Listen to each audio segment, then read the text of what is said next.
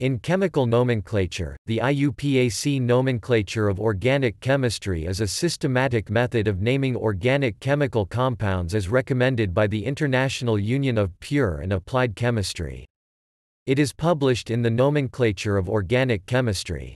Ideally, every possible organic compound should have a name from which an unambiguous structural formula can be created.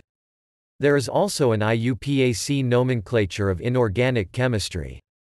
To avoid long and tedious names in normal communication, the official IUPAC naming recommendations are not always followed in practice, except when it is necessary to give an unambiguous and absolute definition to a compound.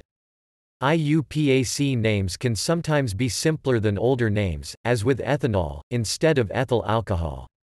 For relatively simple molecules they can be more easily understood than non-systematic names, which must be learnt or looked up. However, the common or trivial name is often substantially shorter and clearer, and so preferred.